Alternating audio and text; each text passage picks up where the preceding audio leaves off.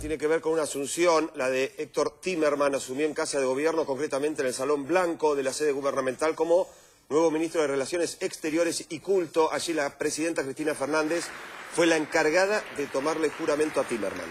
Junto a parte de su gabinete también estaba presente el canciller saliente Jorge Tayana, además del expresidente Néstor Kirchner. Esto ocurría en el Salón Blanco de Casa de Gobierno tras la jura, las declaraciones Héctor Timerman. Juráis por la patria, desempeñar con lealtad y patriotismo el cargo de Ministro de Relaciones Exteriores, Comercio Internacional y Culto, para el que habéis sido nombrado, cumpliendo y haciendo cumplir, en cuanto de vos dependa, la Constitución de la Nación Argentina? Sí, juro. Si así no lo hicierais, la Nación os lo demande.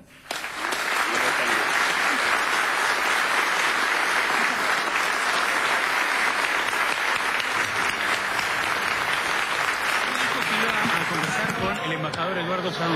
¿Ya lo hizo? ¿Piensa hacerlo en el curso de la tarde? No, no voy a hablar hoy con el embajador Sadus. ¿Y cuándo lo haría?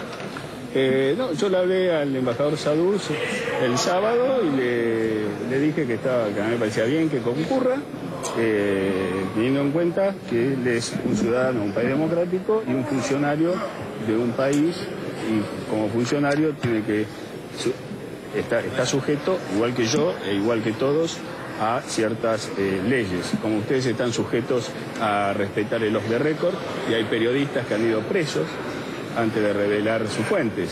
Bueno, son las reglas del juego.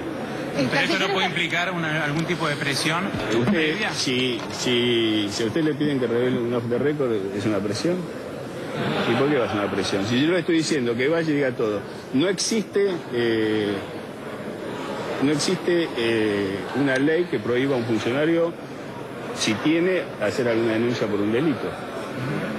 El canciller, esa propuesta innovadora que usted señaló en, en algunos medios, eh, ¿incluye a Brasil como había pretendido estos días para digamos, controlar el, el cauce del río de manera digamos, Son, temas nacional? son temas que tiene que hablar la presidenta con el presidente uruguayo. ¿Y eso no se a través de Cancillería?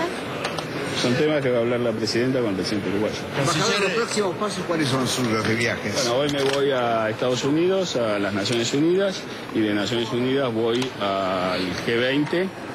Eh, y después, de, cuando termine el G20, mi idea es visitar a los países eh, limítrofes, a los países ¿Con vecinos. Uruguay algún contacto para el viaje? Voy a hablar hoy con el canciller eh, uruguayo. Canciller, ¿quién va a ser el próximo embajador en Uruguay? ¿En dónde? En Uruguay.